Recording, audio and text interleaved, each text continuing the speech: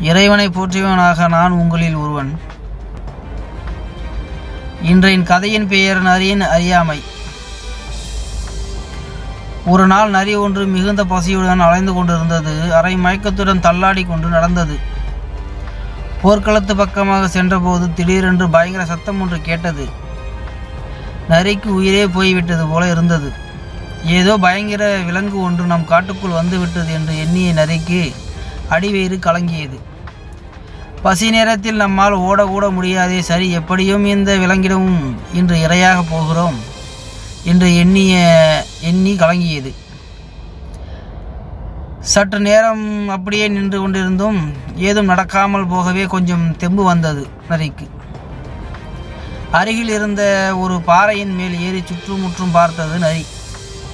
அப்போது தூரத்தில் ஒரு பெரிய பாறை போன்ற ஒரு உருவம் தென்பட்டது நரிக்கு. மீண்டும் ஒரு முறை திடீரென்று சப்தம் உண்டானது. நரிக்கு கலக்கம் அதிகமானது. சற்று உற்று பார்த்த போதுதான் தெரிந்தது அது ஒரு போர் முரசு என்று. அதன் அருகில் மெல்ல மெல்ல சென்று சுற்றி சுற்றி பார்த்தது. பார்ப்பதற்கு பயன்படுத்தி பல நாட்கள் ஆனது போல இருந்தது நரிக்கு. உள்ளே ஏதோ சிறிய மிருகம் ஒன்று இருந்து கொண்டுதான் சப்தம் எழுப்புகிறது என்று எண்ணியது நரி.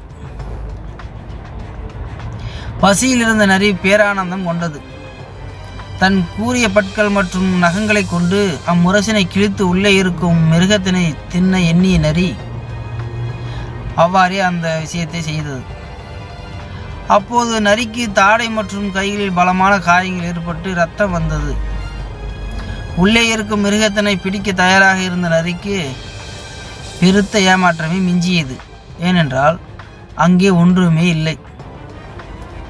பசியோடு இருந்த நரிக்கு இரத்த காயங்கள் மேலும் சோர்வை ஏற்படுத்த மயக்கமுற்றது நரி உண்மையில் அருகில் இருந்த புதர் செடிகள் முரசின் மீது காட்டில் உரசி உரசியே அந்த சப்தம் உண்டானது. இந்த கதையிலிருந்து நாம் அறியக்கூடிய நீதி இந்நிலையிலும் எந்த ஒரு காரியத்தையும் ஆராயாமல் செய்வது நன்மையை தராது.